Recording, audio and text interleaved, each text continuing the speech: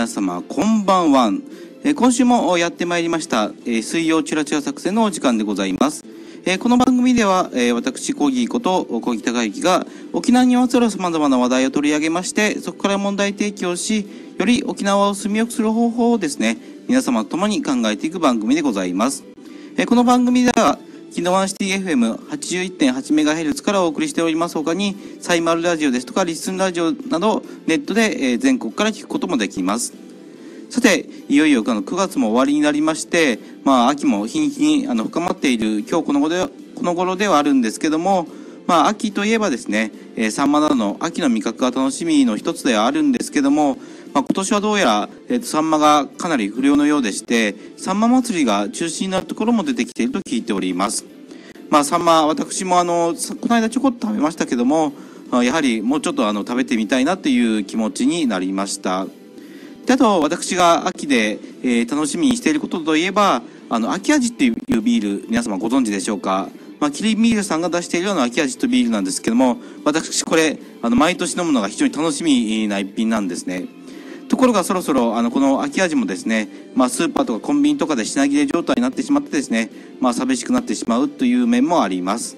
ただこの秋味が終わった後はですね、今度あの札幌ビールさんが出している冬物語が楽しみということもありまして、まあ、楽しみがあの尽きない今日この頃でもあります。で、あの、飲むといえばですね、やはりあの沖縄は非常に飲酒運転が多いということでですね、まあ、飲酒運転はの絶対になさらないでください。もうこれはあの言うまでもないことなんですけども、飲酒運転はあの絶対ダメです。で、私なんですけども、個人的なルールを設けまして、次の日の午前中までに、あの、運転する予定が入っている時には、えーお酒は一切飲まないことにしております。なので、あの、飲み会の時もですね、えー次の日の予定を考えまして、午前中に、あの、運転する予定が入っている場合は、あの、ソフトドリンクだけで済ませるということにしておりますので、えーぜひともですね、特にあの、お酒あまり強くない方はですね、まご参考にされてみてはいかがかなと思います。では、あの、今日もですね、まあ、本題に入る前に一曲おかけいたします。えー長渕剛のナンバーからお送りします。ラン。はい、えっ、と、今日の本題なんですけども、えーちょっとあの、古い記事になって恐縮なんですけども、9月の13日の、八重山日報沖縄本島版と、それからの産経新聞に載っていたあの記事から紹介いたします。見出しが、資格外国外国連演説に公費、尾長知事、辺野古反対でとこうという見出しの記事です。では、ちょっと長めですが、記事を全文紹介いたします。尾長武知事が平成27年9月にスイス・ジュネーブの国連人権理事会で参加資格が認められていない県知事の立場で演説し、交通費や宿泊費などの、費用計227万円を公費で支出していたことが分かった。県の公文書公開請求で判明した。尾長氏は教授資格を有する NGO から演説枠を提供されたため、費用は本来、この NGO などに用立ちしてもらうか、個人で賄うべきだった。米軍基地反対を叫ぶ民間団体の国際世論工作に結成で加担した形だ。尾長氏は平成27年9月21日のジュネーブの国連人権理事会での演説で、自身が沖縄県知事であることや、沖縄に米軍基地が集中する現状を紹介。沖縄の人々は自己決定権や人権をないがしろにされている。あらゆる手段で新基地建設を止める覚悟だ。と述べ、えー、宜野湾市の米軍普天間飛行場の名護市辺野古移設への、移設阻止への決意を示した。尾長氏は演説に先立ち、移設反対派の市民団体が主催したシンポジウムでも講演し、沖縄が理不尽な状況にあるなどと訴えた。尾長氏には国際世論に訴えかけ、移設をめぐり対立する日本政府を牽制する狙いがあったようだ。外務省によると、現職の都道府県知事が国連人権理事会で演説するのは初めてだった。しかし、尾長氏にはそもそも国連人権理事会で沖縄県知事として演説する資格は与えられていなかった。当初人権人道課によれば、国連人権理事会で理事会の規定で演説が認められているのは1、非理事国の政府代表者、2、国際国際機関の代表者、3、国連経済社会理事会に認められた競技資格を有する NGO の3社に限られている。地方自治体のトップは明らかに資格外だった。このため、小長氏は3に該当する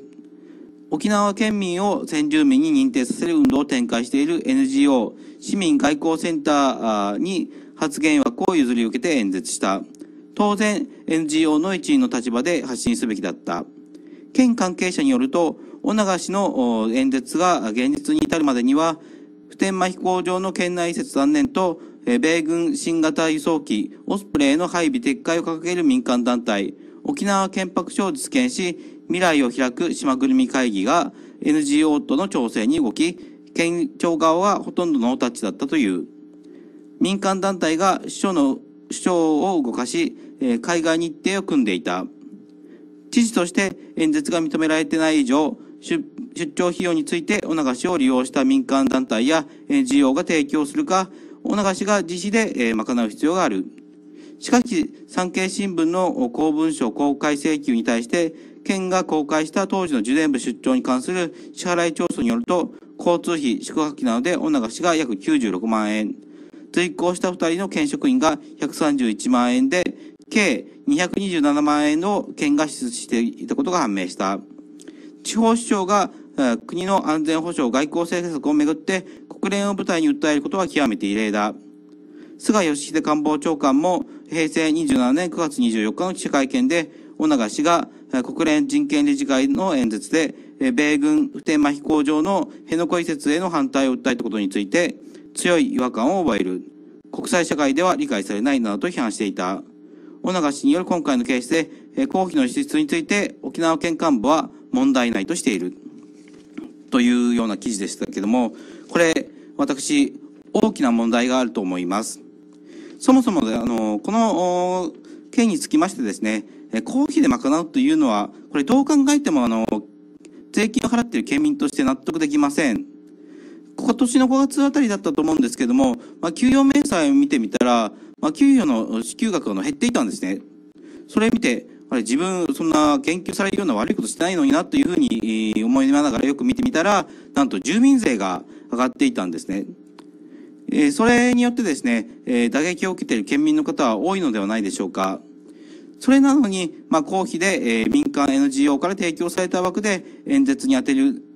公費であの民間 NGO から提供されたですね、え枠で演説するというのは、これはまさにあの、職権乱用、あの、理不尽なことだというふうに思います。あと、小長知事、えー、シンポジウムの席で沖縄が理不尽な状況にあると訴えたようなんですけども、この理不尽な状況に貶めているのは、小長県知事、張本人ではないでしょうか。こういったの民間の NGO から与えられたわけでですね、演説することにあの公費を使うというのは、もう理不尽以外の何者ではないと思います。では、あの、まあ、記事の中でも一部出てきたんですけども、え一昨年9月、えスイスのジュネーブでですね、小長知事がどういった演説をしたか、これについての音声がありますので、えこれをご紹介いたします。では、お聞きください。I'm, I'm sorry, um, the clock wasn't running, but it's two minutes is over. Thank you for your attention. Thank you. Um, the next speaker is Shimin Gaiku Center. You have the floor. Thank you, Mr. Chair. I am Takeshi Onaga, Governor of Okinawa Prefecture, Japan. I would like the world to pay attention to Henoko, where Okinawans right to self-determination is being neglected. After World War II, the U.S. military took our land by force and constructed military bases in Okinawa. We have never provided our land willingly. Okinawa covers only 0.6% of Japan. However, 73.8% of U.S. exclusive bases in Japan exist in Okinawa. Over the past 70 years, U.S. bases have caused many incidents, accidents, and environmental problems in Okinawa. Our right to self-determination and human rights have been neglected. Can a country share values such as freedom, equality, human rights, and democracy with other nations when that country cannot guarantee those values for its own people. Now the Japanese government is about to go ahead with a new base construction at Henoko by reclaiming our beautiful ocean, ignoring the people's will expressed in all Okinawan elections last year. I am determined to stop the new base construction u- using every possible and legit such, such uh, means. Thank you very much for this chance to talk here today.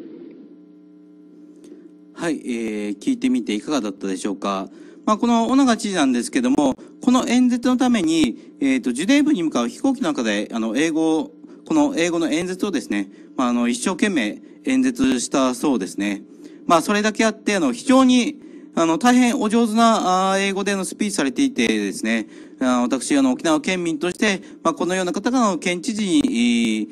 なられていることに対してですね、本当に心の底からですね、えー誇りに思いません。こんなあの2分間だけのですね、スピーチをするためにですね、わざわざあの海外にまであの出張する必要なんてないですし、あと、この演説の枠もですね、民間 NGO 市民外交センターというところからの提供されたものであります。この市民外交センターをですね、上村秀明、慶泉、女学園大学教授が代表を務めている団体だそうですけども、であればですね、何もわざわざ野永知事に行かせるんじゃなくて、この上村教授が、行けばよかったんじゃないでしょうか。まあ大学教授というぐらいですからね、あの何を教えてるかはわかりませんけども、まあ大学教授というぐらいです、ですから、まあ2分間の英語のスピーチでありましたですね、まあ1、2週間練習すれば、あのいけるんじゃないかなというふうに思うんですね。まあ、大学と言いますと、もうどこの大学でも入学試験にあの英語が必須になっておりますので、まあそうである以上当然ですね、まあ教授も、まあ英語ぐらいできなければいけないんじゃないでしょうか。それに、あの、こういったあの演説、民間の需要からの枠をもらった演説にですね、えー県民のあの血税が使われるなんていうことはですね、まあ非常にあのまずいことだなというふうに思います。で、県の関係者もですね、えー県の幹部は問題ないとしているっていうふうに記事にも書いてありましたけども、これは私大問題だと思うんですね。まあ沖縄の県の予算、えー、大体年間あの7000億円ですので、まあ227万円といえばですね、ほんのもう何10万分の1に過ぎないんですけども、決して額の問題ではなくて、まあこういったいびつな税金の使われ方をしてですね、あの沖縄県内の経済をもう圧迫していいのかというふうに私思います。それと、あの、もう一件、えーこの件についての納得できないのは、まあ、この件を報じていたのは、先ほど記事を紹介した八重山日報と、それからの産経新聞だけでした。私が調べた限りでは。で、沖縄西につきましては、まあ、こういった件をもう一切報じておりません。沖縄西につきましては、まあ、沖縄県内のシェアがあの99%っていうこともありますので、え大半の沖縄県民は、この沖縄西から、新聞を読んでですね、情報収集している県民の大半はですね、まあ、沖縄西から、まあ、情報収集をしているんですね。まあ、ところが今回この件についてですね、報じないということは、えー目隠しされた、えー、小長知事について、えー不都合な事実を、事実から目隠しされた状態でですね、まあ来年11月か12月にあります知事選を迎えるということになるんですけども、もうこれも決してあのいいことだとは思いません。まあ、情報、まあ、僕らがですね、僕ら有権者が投票する際にはですね、えその候補者の情報というのが必要なんですけども、その必要な情報をですね、もう一部しか与えられない。ほんの一面の情報しか与えられないということでですね、まあ、果たして有権者が、あの、賢明な判断できるかどうかというのがですね、まあ、非常に疑問に思います。まあ、2014年に行われました県知事選でもですね、えー小長知事を持ち上げる。一方で、えー落選した中山さんを非常に一方的にバッシングするっていうことも見られましたけども、もう来年の県知事選挙ではですね、同じような傾向が見られてしまえば、私、またしてもですね、まあ、小長さんが県知事選ばれてしまうのではないか、沖縄がまだまだ、あまあ、経済発展、一応、まあ、ニュースではですね、沖縄の景気は拡大しているというふうに言っておりますけども、まあ、あー取得所得につきましてはですね、実質所得につきましては増えないままになっておりまして、まあ、県民は全くその実感がありません。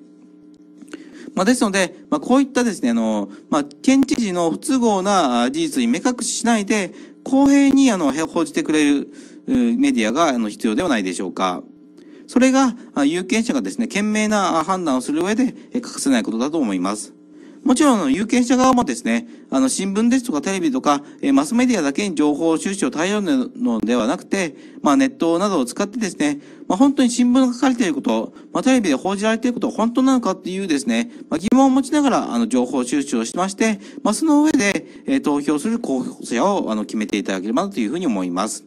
まあ、それが、ひいては、あの、沖縄のですね、未来を明るくするっていうことにつながってくるはずだと思います。まあ、この件につきましてはですね、え今後もあの、新たな情報が入り次第、あの、お送りしていきたいというふうに思います。で、あと、今、紹介しました、え、八重山日報沖縄本島版、まあ、記事を紹介しました八重山日報沖縄本島版なんですけども、ま、今年の4月にあの発刊されまして、もう間もなく半年が経とうとしております。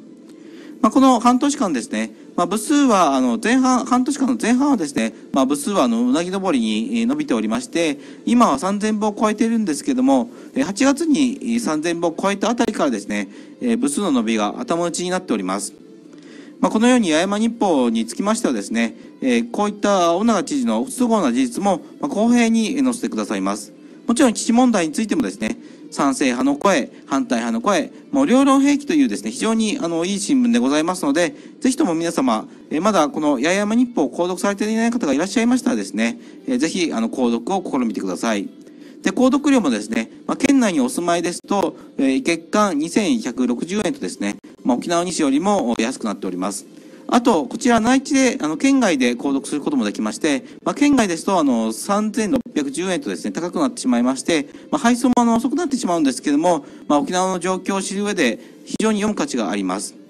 で、この、八重山日報沖縄本島版の購読の問い合わせにつきましてはですね、M プロジェクトという機関にお問い合わせください。電話番号が098-894-6070、098-894-6070 6070番となっております。ぜひとも、あの、M プロジェクトにお問い合わせいただければなというふうに思います。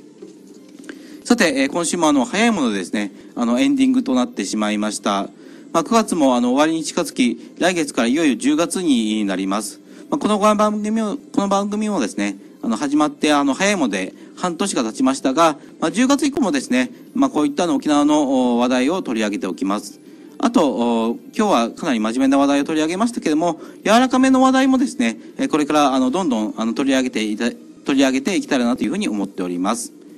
えそれでは、あの、来週も水曜日の20時半に、夜の8時半にお耳にかかりましょう。では皆様、良い一週間をお過ごしください。ごきげんよう。